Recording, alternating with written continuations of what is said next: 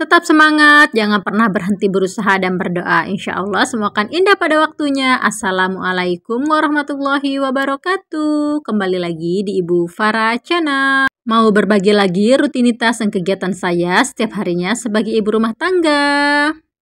Nah, ini kegiatan saya yang saya lakukan di malam hari ya teman-teman. Kali ini saya nggak sharing kegiatan saya di pagi hari, saya pengennya yang di malam hari aja. Karena ini juga kegiatan yang sering saya lakukan ya pastinya teman-teman.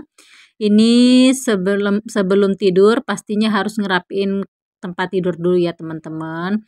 Karena siangnya kan udah tidur otomatis tempat tidur pasti berantakan ya. Yang namanya anak itu pasti ada aja ya namanya tempat tidur pasti selalu berantakan ya teman-teman karena selalu dipakai tidur. Oh ya sebelum lupa saya mau sapa-sapa dulu nih. Apa kabar nih teman-teman semua? Semoga selalu dalam keadaan sehat, dilancarkan rezekinya, dimudahkan segala urusannya dan semoga harapan dan cita-cita teman-teman bisa segera terwujud ya. Amin amin ya robbal alamin.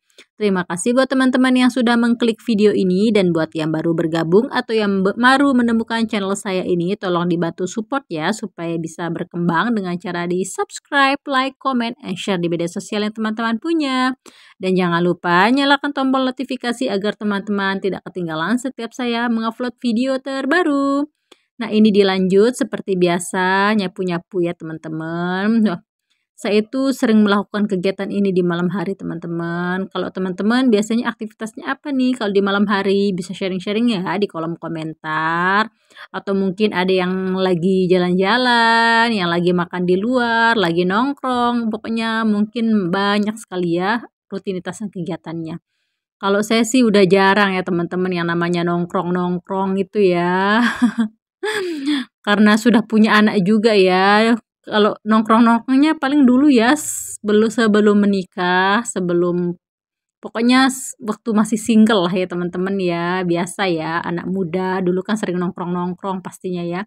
Tapi saya juga jarang sih nongkrong-nongkrong ya tempat-tempat berbagai macam ya teman-teman. Palingan saya itu kan kebiasaan karena kerjanya itu dari sore di tempat saya kerja dulu ya, saya sedikit cerita, saya kan kerjanya sore dan pulangnya itu kadang sampai jam 11 malam, jam setengah 12 malam ya teman-teman. Jadinya jarang lu saya nongkrong-nongkrong di luar, paling nongkrongnya di tempat kerja ya, karena saya dulu kerjanya di restoran ya teman-teman.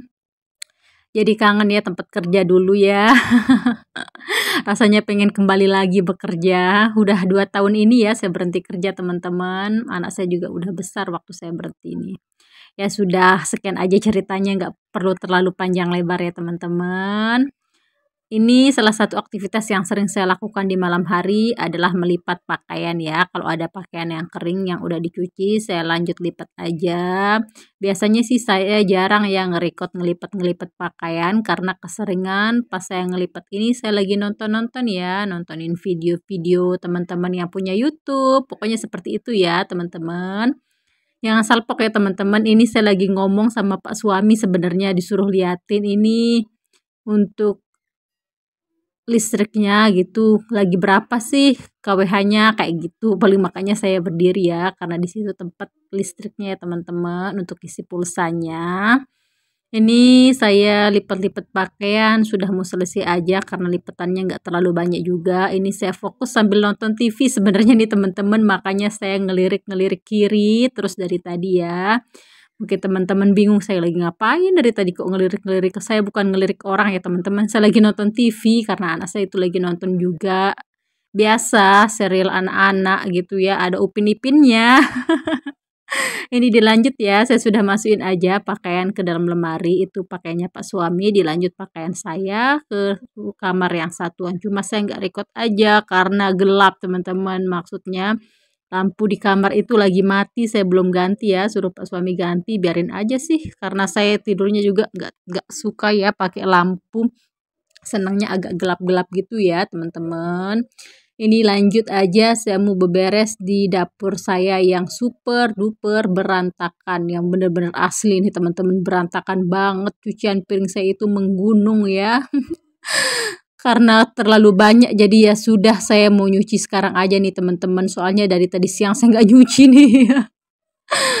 ada-ada aja nih teman-teman ada aja ya kegiatan saya mungkin bang mager ya sebenarnya nggak mager juga sih teman-teman Gak tahu aja itu bawaannya kenapa hari ini nggak nyuci sampai menumpuk kayak menggunung seperti ini ya teman-teman. Jangan diikuti ya teman-teman. Diambil sisi positifnya aja dibuang yang jelek-jeleknya ya. Kalau yang jelek-jelek nggak usah diikutin, yang ikutinnya yang membuat semangat aja. Oh iya, sekali lagi buat teman-teman jangan pernah bosan-bosan ya untuk melihat vlog-vlog sederhana di rumah saya yang sederhana ini. Semoga aja bisa menginspirasi, semoga bisa memotivasi, semoga bisa bermanfaat dan semoga teman-teman pada suka. Saya hanya ingin berbagi kegiatan dan rutinitas saya setiap harinya saja ya kepada teman-teman semua yang saya pengen nularin semangat-semangat ya kepada teman-teman. Kalau teman-teman bersemangat ya alhamdulillah. Tapi kalau nggak bersemangat dengan video saya ya mohon dimaafkan ya teman-teman. Anggap saja angin ya. Nah ini sudah selesai aja nyuci-nyucinya.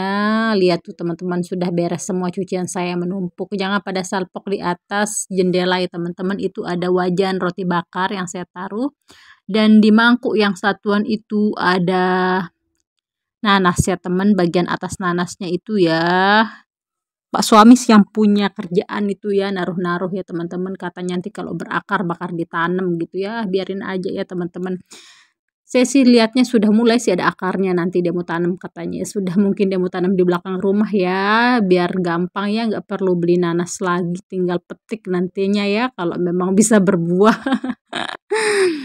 Jangan salpok juga sama panci magicom ya teman-teman. Itu saya sengaja aja rendem karena memang masih nempel ya untuk nasi-nasinya yang kering-kering di pinggir itu. Besok paginya subuh saya mau masak aja ya teman-teman untuk anak yang sarapan sebelum berangkat sekolah. Pastinya harus selalu sarapan ya teman-teman semua Oh ya, ini lanjut saya ngelap-ngelap juga bawah kompornya seperti biasa ya teman-teman. Rasanya kalau nyuci tanpa ngelap-ngelap bawah kompor atau ngelap-lap dinding itu rasanya ada yang kurang teman-teman ya. Pastinya teman-teman juga seperti itu ya. Saya mengucapin terima kasih banyak buat teman-teman yang selalu hadir di video-video sederhana saya ini. Terima kasih banyak ya teman-teman semua. Saya sangat beruntung mempunyai teman-teman baik walaupun kita tidak pernah bertemu sebelumnya atau kita tidak pernah saling sapa. Walaupun di dunia maya tapi kalian itu semua adalah teman-teman baik saya ya. Terima kasih teman-teman. Karena tanpa kalian semua, tanpa support dari kalian semua, apalah saya, saya bukanlah apa-apa ya. Dan jangan lupa dibantu ya channel saya dengan cara di subscribe, like, comment, and share di media sosial yang teman-teman punya. Dan jangan lupa nyalakan tombol notifikasi agar teman-teman tidak ketinggalan setiap saya mengupload video terbaru. Wassalamualaikum warahmatullahi wabarakatuh. Bye-bye.